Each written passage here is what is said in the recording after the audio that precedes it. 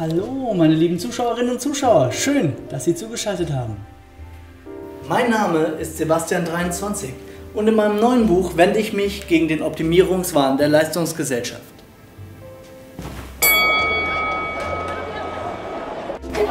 Hierzu gebe ich Tipps, wie man ein möglichst schlechtes Leben führen kann. Und heute möchte ich mal erzählen, wie meine eigenen Methoden funktionieren.